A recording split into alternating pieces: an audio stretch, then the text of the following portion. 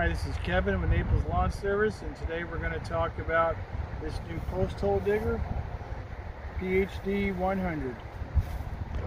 So we ordered this PHD 100 through John Deere, uh, through our local dealer, Everglades Equipment Group, and uh, came in in a couple weeks. This is the PHD 100. PHD stands for post hole digger. It comes in a 100, 200, 300, or, or 400 uh, based upon how much horsepower your tractor has. What I'm running here is a is a, a 300 series 3025E. Uh, you can order different size augers with it and what I got is the 9 inch wide auger times 36 inches deep and depending on how big auger you want you'll have to get a bigger and bigger uh, post hole digger. So I'm going to tell you a little bit about this thing. We got this for uh, putting in posts, whether it be uh, something the customer might need. Like we're going to offer uh, starting a little, little little gardens for people. So we bought a tiller so we can till up a little plot of land for them, not too big. And then uh, we got this, and this we can put in posts around the garden, uh, poles uh, like like this or like this we can put fencing or fencing around it. Not this type fencing, this is more for cattle, but smaller fencing around these gardens to keep these critters out. So uh, this that's one use we're going to have with this when we offer people to put in some little uh, little little gardens and being able to fence in the gardens. All right, so these uh, are listed under John Deere, but they came out with the name uh, Rotomec on them and uh, I guess they're Frontiers, but they're either Frontiers or, or they're this. But uh, John, it's, it's the one John Deere sells, so that's where I got it from. Okay, so to install this, there are no videos online that we could find. So I'm going to make it easy for you and give you a few tips. I'm not going to break this thing back down and put it all back together, but I'm going to, I'm going to give you a few tips that, that's going to help you. First of all, it's not iMatch compatible. So you're going to have to take your iMatch off. Uh, the second thing is you're going to have to take this off, okay? This bar usually goes right in here to hook up your equipment. Well, this has got to come off, all right? Because this uh, digger is going to hook up right here. It just hooks up with one big pin and one one of these safety pins. And then the other two points are going to hook up your three points hooking up here and here. Now, these uh, needed to be adjusted out maybe an inch or two. So you just spin this here and you spin the other one and you can make these arms go in or out to fit this thing just right. So that's how it's going to attach. You got to take this bar off and then you got to adjust these these linkages, these chain linkages to go out and in a little bit. You just turn this, turn this area, turn this thing right here with a wrench and it's going to make these go in and out. So that's how you're going to hook it up. And uh, then you got your your PTO uh, shaft. What you want to do is pull this thing apart put a thin layer of grease on this okay? This just pulls apart. It'll just pull right off. So uh, it doesn't come hooked up by the way that just comes as a shaft. So just pull the shaft apart put yourself a thin layer of grease in there shove that shaft back together. Um, when you do hook up these these uh, this shaft there's a little button that's on the uh, yoke down there and you're going to actually end up pushing that button. All right so i pulled this shaft off here. Here's your here's your little button right here okay? This is what you're going to push in when you slide slide that thing on there. So that's where you're going to find also you can see a grease fitting in there. See that grease fitting? That zerk fitting right there? You want to make sure that you pump that put some grease in there on each end before you hook this hook this up into your spline. All right, so see this little button is just gonna push like that, okay? You're gonna slide your shaft on there, push your little button, and it's gonna go on. Oh, just like that, okay? And then you can pull it backwards a little bit, you'll hear it a little click. Click, there you go. That's how easy that is. And then you're gonna hook up your safety chain right here. Just like that. Same thing on this end, you got a little safety chain, hooks up right here. Okay, so that's how you put your drive shaft on, you you got to grease this zerk, grease that zerk, break it apart, put a thin layer of grease in there. That's how you shove it on both ends. You got to hook up these safety chains, and that's how that's going to go on there. Now, when you're installing this, there's a shear bolt that's got to go in here, okay? It's about two and a half inches long, and it's a quarter inch diameter, and there's a locking nut, okay?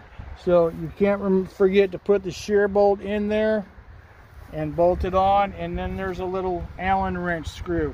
The Allen wrench screw is to hold this, if the shear bolt breaks, the Allen wrench screw is to hold the shaft together, hold it to here. So the little Allen wrench screw um, and by the way, you access all this stuff by popping off these little covers right here. Okay, you pop off these covers, and that's how you that's how you're going to get into your holes. There's another one over here. See, same thing. Pop that off. Anyway, that shear bolt, the the Allen wrench bolt is going to go all the way in, and then you're going to until it bottoms out, and you back it off no more than a quarter of an inch. Then you tighten down the nut. Okay, so you got to put the Allen wrench bolt in, and you got to put the shear bolt in. The shear bolt, like I said, it's a quarter inch by two and a half inches.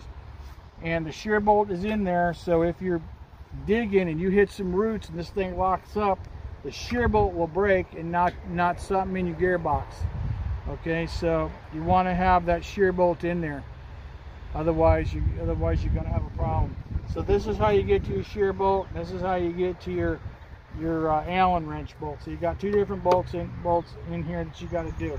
All right, now they tell you to do this stuff in order, hook this up, put on your shaft, get your gearbox done, with, get your uh, shear bolt in there and your other thing, and you're gonna do the auger last, okay?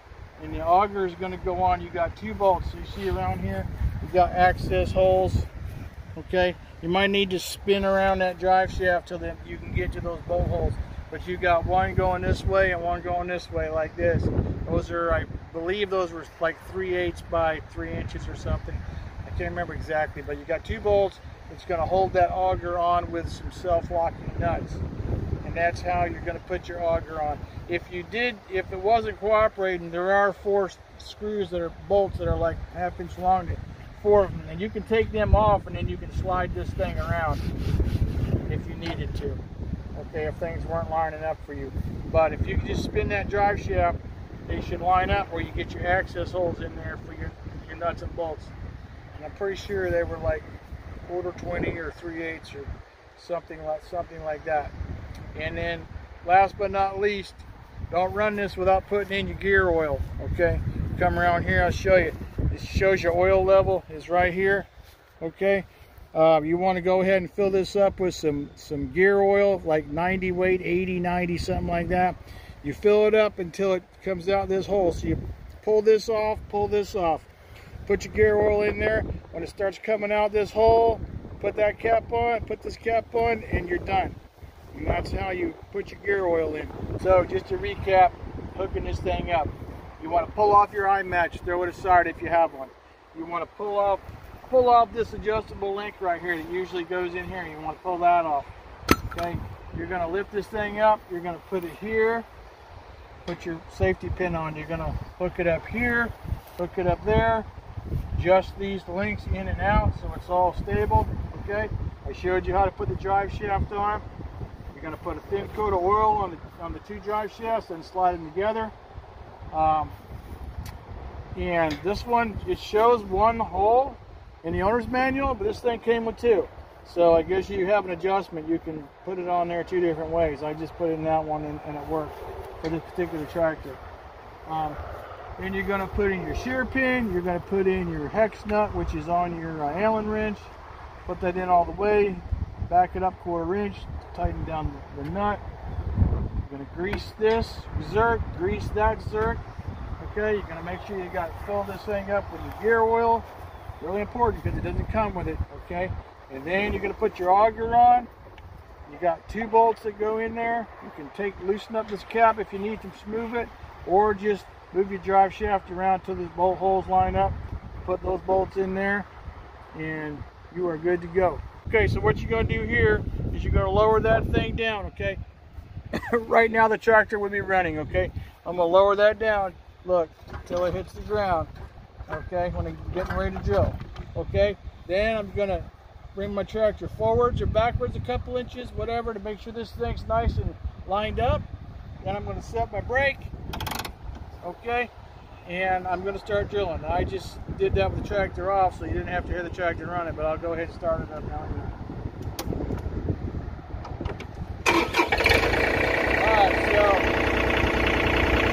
drop it, go backwards or forwards or whatever you need to do to get that thing straight.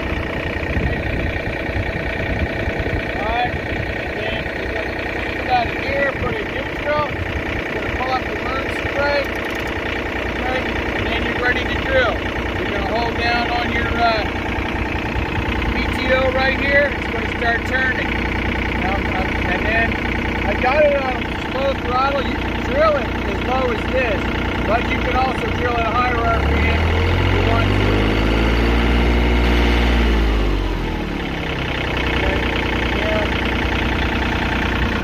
Okay, make sure your emergency brake's set, you're out of gear. You're gonna lower that thing down. It doesn't take much, that thing will suck itself down. I'm gonna show you here in just a minute. But that bit will suck itself down. And then what you wanna do is start backing it up easy. When it starts coming out, I would shut that PTO off and then just drag that bit out of the rest of the way. Because if you try to drill it backwards, uh, try to drill as you're coming out, you're going to knock a bunch of sand down that hole. So after you drill your hole, just bring it up a little bit, shut shut off your PTO, and then just suck up that thing, that uh, that auger out of that hole.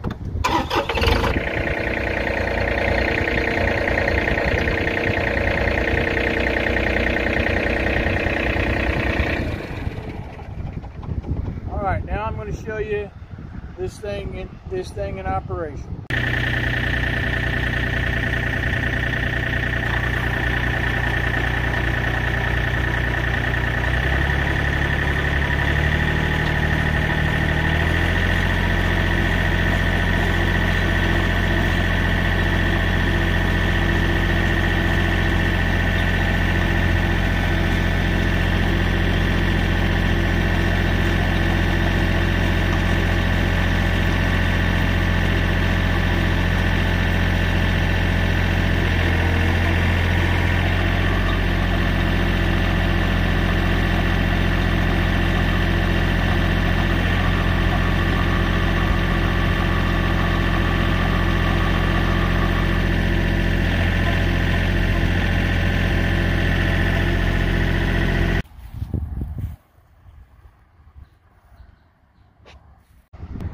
Okay, now when you run this auger, nobody should be around this thing. As you can see, it bounces, it swings, it's all over the place. Nobody should be standing here when you're running this for safety.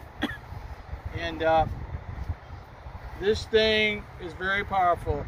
I had some old electrical lines in the ground. I didn't, didn't know where they were. I figured I'd miss them. And uh, boy, I tell you, it grabbed that 12-2 UF and it snapped it off like it was a Dorito or something. I mean, it literally ate up some 12.2 UF in about two seconds. Broke it apart from itself and ripped it out of the ground. So this thing's super powerful and uh, those wires weren't live yet. They were old wires. I, They were not even energized yet, but I knew they were in the ground somewhere. I just, I just didn't figure they were right there. But that's how I learned uh, one of the th things about this. So always make sure you know where, know where you're drilling. Make sure there's no water lines down there, no sprinkler pipes, no electrical wires, and nobody's nobody's standing around when you're doing your drilling. All right, here's just some info for you. This PHD 100, it is for 15 to 25 horsepower tractors, okay? Um, which I have uh, 3025E, so this is this is 25 horsepower.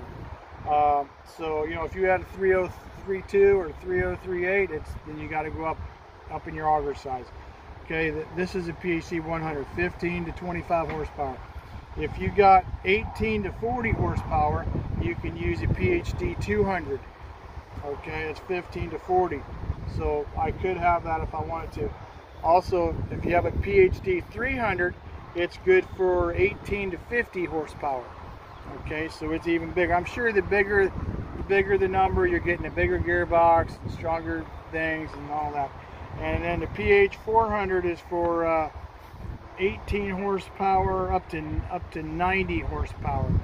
So they all have uh, different different uh, ranges of uh, for different horsepower. So, you know, some are built stronger, some are built weaker. But anyway, for, what I have, 3025E, this thing is sweet. It just it drills holes very easily and very nicely. Of course, you're going to pay more money. Now this 100 here, this is about a $1,700 part, but then you got to buy the auger too. And I think the auger was like another 500 or something. This particular auger, and that's the other thing. Uh, if you the, the more you go up from PHD 100 to 200, 300, 400, you get you can get wider augers and longer augers. You can get you know 48 inch augers or whatever, and 12 inches wide, and you can get all all sorts of stuff. And that's probably why you get it would have a higher horsepower rating too. But uh, this thing you could put this 36 inch long auger and it's nine inches wide, so this should take care of just about any of your common needs around your farm or house or what have you. Okay, so the one more thing, you have an option of buying a stand, okay? This thing's sitting on a stand, the stand's like over $600, it's a lot of money. But uh, it'll set it up nice, won't be dragging around getting all scratched up. But uh, you can store it on the stand, it got a little hook there, hold your drive shaft, and uh, this is how it's going to hold up the gearbox and pretty much just going to keep it up looking nice off the ground. Your other option is to store it is just to back it up to a piece of sod and just drill that down into the ground halfway and it'll just stand up by itself with a hole that you drilled in the ground. But uh, if you got the extra money and if you want to spend it, you can get this stand here to hold it up. There you have it. That's our video on our new PHD 100 uh, post hole digger. If you like the video, hit the like button, and we're going to have a lot more videos coming out if you want to subscribe. And this is Kevin with Naples Lawn Service.